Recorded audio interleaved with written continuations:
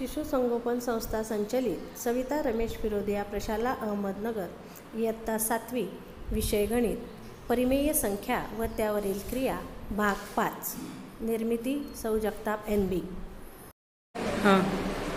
विद्यार्थी मित्रांनो आपण परिमेय संख्या व त्यावरील क्रिया या प्रकरणामध्ये आपण परिमेय संख्यांची बेरीज वजाबाकी गुणाकार आणि भागाकार त्याच्यामध्ये परत गुणाकार व्यस्त. एवढे आपण त्यातले घटक पाहिलेले आहेत. आज आपण या परिमेय संख्यांच्या दरम्यान कोणकोणत्या संख्या येतात आणि त्या कशा काढायच्या हे आपल्याला पाहिजे. पहिल्यांदा लक्षात ठेवायचं परिमेय संख्यांच्या दरम्यान असंख्य संख्या असतात अनेक संख्या असतात. जरी आपण एक दोन काढल्या तरी पण त्यांच्यामध्ये आणखी लहान लहान संख्या असतात. त्या कशा काढायच्या ते आता आपण पाहणार आहोत. पहा या ठिकाणी दोन अपूर्णांक घेतलेले आहेत. पहिला आहे सहा सात आणि दहा सात. या दोन अपूर्णांक आहेत या दोन संख्या आहेत. या दोन संख्या परिमेय संख्यांच्या दरम्यान किती संख्या आहे हे कसं काढायचं? तर सगळ्यात पहिल्यांदा काय करायचं? छेद समान आहे का बघायचं? जर छेद समान असेल तर त्याच्यामध्ये आपल्याला संख्या काढणं फार सोपं आहे ज्यांचा छेद ज्या संख्यांचा छेद समान आहे त्यांच्या पाच सहा आणि दहा. मग सहाच्या पुढे काय येणार? सात छेद सात आठ छेद सात नऊ छेद सात आणि दहा छेद सात. म्हणजे सहा छेद सात आणि दहा छेद सात यांच्या दरम्यान आपल्याला किती अपूर्णांक मिळाले किती परिमेय संख्या मिळाल्या? तर या तीन परिमेय संख्या मिळाल्या. आता जर छेद समान असेल तर एकदम सोपं आहे काढणं. पण छेद जर समान नसेल तर तेही कशा काढायच्या ते आपण पाहणार आहोत आणखी एक छेद समानचं आपण उदाहरण पाहूया चार छेद पाच आणि अकरा छेद पाच बरोबर हे दोन अपूर्णांक आहेत या दोन परिमेय संख्या आहेत आता चार छेद पाच नंतर काय येणार? सहा पाच छेद पाच सहा छेद पाच सात छेद पाच आठ छेद पाच नऊ छेद पाच दहा छेद पाच आणि नंतर अकरा छेद पाच. म्हणजे आपल्याला या ठिकाणी पहा चार छेद पाच आणि अकरा छेद पाचच्या दरम्यान एवढ्या आपल्याला परिमेय संख्या मिळाल्या. जर छेद समान असेल तर हे काढणं सोपं आहे. परंतु जर छेद समान नसेल तर काय करायचं या पाहिजे चार छेद पाच आणि दोन छेद तीन या दोन परिमेय संख्या आहेत. परंतु यांचे छेद समान नाहीत.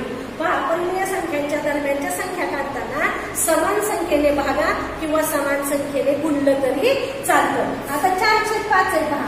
चार छेद पाचला आपण तीनने गुणूया. आणि तसंच दोन छेद तीनला सुद्धा छेद आणि छेद सारखे करायचे ना आपल्याला. म्हणून एकमेकांना गुणायचं पाचला तीनने गुणलं म्हणून तीनला कितीने गुणूया? पाचने. मग ज्या संख्येने छेदाला गुणले त्या संख्येने काय करायचं? अंशाला गुणायचं पाचला तीनने गुणलं म्हणून चारला सुद्धा कितीने गुणायचं तीनने. तीनला पाचने गुणलं म्हणून दोनला सुद्धा कितीने गुणायचं पाचने बरोबर? आता या पहा दोघांचा छेद समान आला. पाच त्रिक पंधरा. तीन आठाचे पंधरा. आता छेद समान आला. आणि वरच्या संख्यांचा गुणाकार चार त्रिक बारा. पाच दुने दहा. आणि का छेद समान? मग आता तुम्हाला सोपं जाईल दहा नंतर काय येतात अकरा छेद पंधरा आणि नंतर बारा छेद पंधरा. म्हणजे या दोघांच्या दरम्यान अकरा छेद पंधरा ही संख्या आहे. तसंच इथं पहा. इथं आपल्याला काय करता येईल? छेद समान का? छेद पहिल्यांदा पाहिजे समान आहेत का? नाही. छेद समान नसेल तर छेदाने काय करायचं? एकमेकांना गुणायचं. आणि ज्या संख्येने छेदाला गुणतो त्या संख्येने काय करायचं? अंशाला पण गुणायचं. आता पहिलं पहा. सात छेद आठ आहे बरोबर? याला कितीने गुणणार आपण? चारने गुणणार. मग छेदाला चारने गुणणार म्हणून अंशाला पण कितीने गुणणार आपण चारने बरोबर? दुसरा पूर्णांक आहे चार छेद पाच. मग आता पाच या चारला किती गुणणार आपण?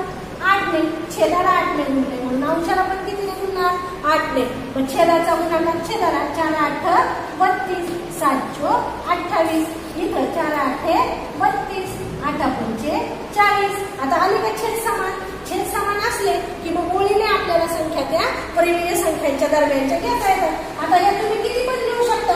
आपल्याला दोन तीन सांगितलं तुम्ही दोन दिल्या. अठ्ठावीस नंतर एकोणतीस तीस असे चाळीस पर्यंत आपण कितीही संख्या लिहू शकतो. पहा अठ्ठावीस छेद बत्तीस एकोणतीस छेद बत्तीस तीस छेद बत्तीस. त्याच्यानंतर सत्तर डायरेक्ट आपण अडतीस छेद बत्तीस लिहू शकतो एकोणचाळीस छेद बत्तीस लिहू शकतो आणि चाळीस छेद करू शकतो म्हणजे अठ्ठावीस छेद बत्तीस आणि चाळीस छेद बत्तीसच्या दरम्यान अशा आपण अनेक संख्या काढू शकतो. याच्यावर आधारित आहे पहा. सराव संच तेवीस. तर हा सराव संच तेवीस तुम्ही काय करायचा आहे? सोडवायचा आहे.